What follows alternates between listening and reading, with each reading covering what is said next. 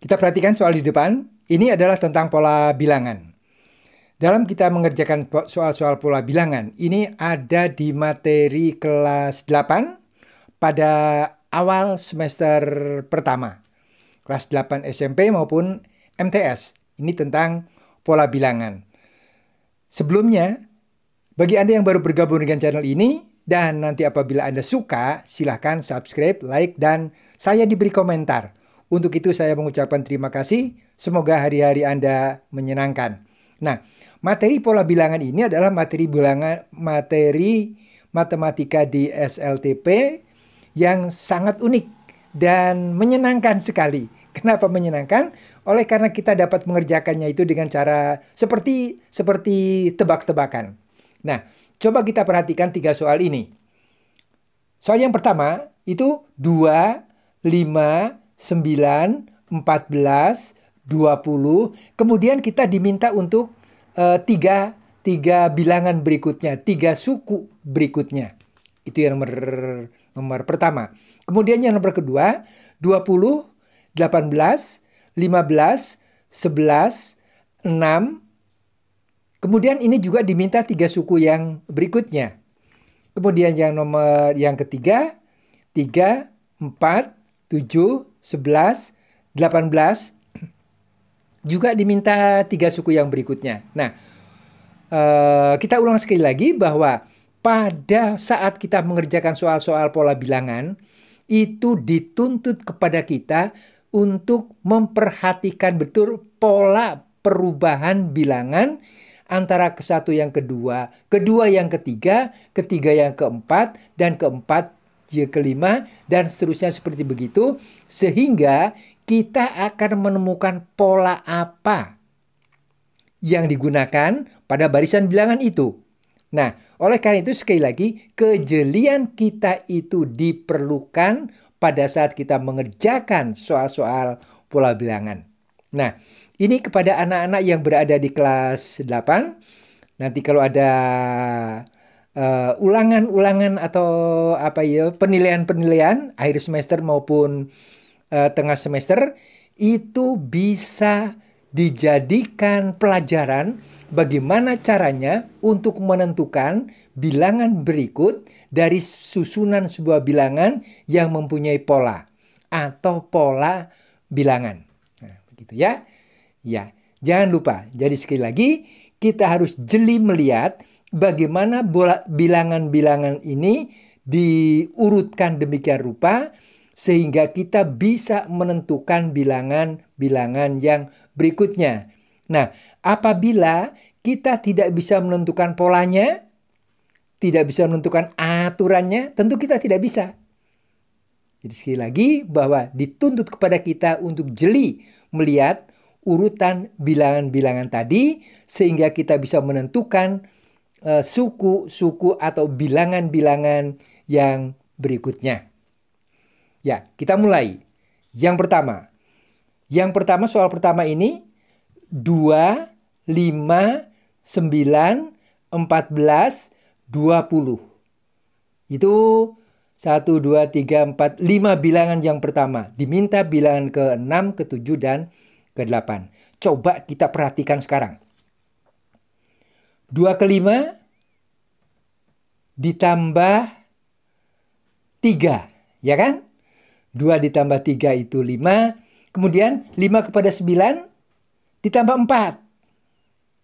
5 ditambah 4 adalah 9. Kemudian 9 ke 14 ditambah 5. 9 ditambah 5 adalah 14. Kemudian 14 ke 20 ditambah 6 menjadi 14 ditambah 6 menjadi 20. Nah, sekarang kita sudah dapatkan polanya.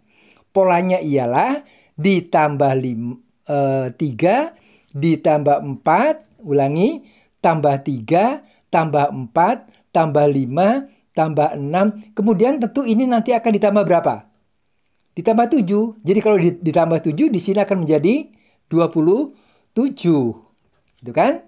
Kemudian sesudah ditambah 27 maka ditambah eh, eh ditambah 7 maka akan ditambah 8 jadi berapa? 27 ditambah 8 itu 35. Itu kan? Sudah tambah 8 kemudian akan ditambah berapa? 9. Maka 35 ditambah 9 itu 44. Iya, begitu. Jadi, tiga suku berikutnya adalah 27, 35, dan 44. Aturannya, polanya bagaimana tadi? 2 ditambah 3, ini.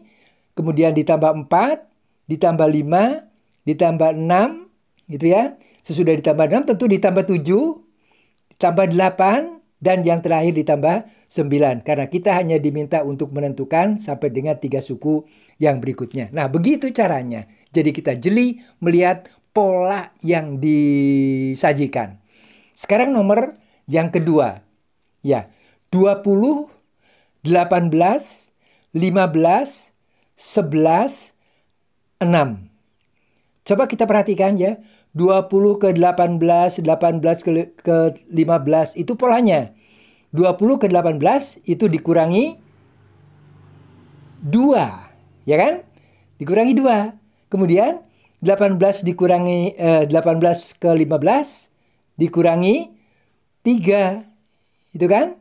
15 ke 11 itu dikurangi 4.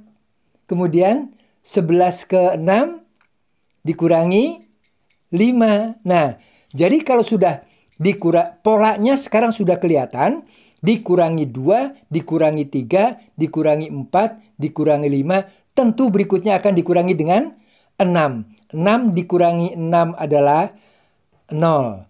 0 dikurangi 6 adalah minus 6. Kemudian minus 6 dikurangi Uh, ulangi, ulangi, ulangi.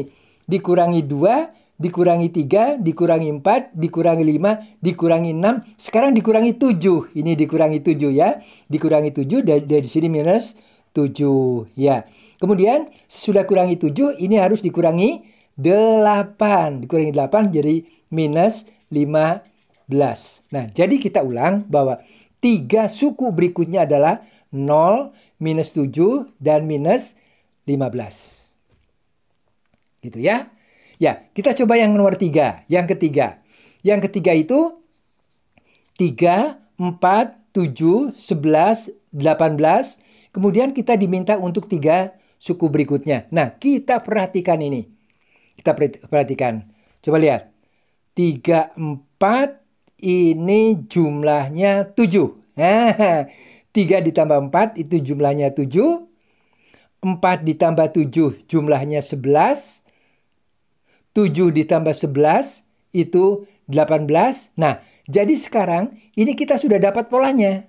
Artinya uh, ini adalah barisan bilangan Fibonacci ini ya. Balikan barisan bilangan Fibonacci. 3 ditambah 4, 7, 7 dit 4 ditambah 7, 11, 7 ditambah 11, 18. Yang berikutnya berapa? Tentu 11 ditambah 18. Ya kan? Karena polanya tadi kita sudah dapatkan. Jadi kita ulang. 3 ditambah 4, 7. 4 ditambah 7, 11. 7 ditambah 11 itu 18. 11 ditambah 18 itu 29. Sekarang 18 ditambah 29 itu 47. Ya kan? Kemudian sekarang yang ketiga, 29 ditambah 47 itu 76. Iya. Nah, begitu. Jadi sekali lagi, pada saat kita mengerjakan pola bilangan, itu harus diperhatikan benar aturannya sehingga kita mendapatkan polanya. Setelah mendapatkan polanya, maka kita bisa menentukan suku-suku yang berikutnya. Begitu? Terima kasih atas perhatiannya. Semoga ini bermanfaat terutama untuk anak-anak yang ada di kelas 8, kemudian juga untuk kita orang tua agar supaya kita bisa membawa memberikan bimbingan kepada anak-anak kita sehingga dapat belajar matematika dengan baik. Terima kasih karena semua Anda hebat.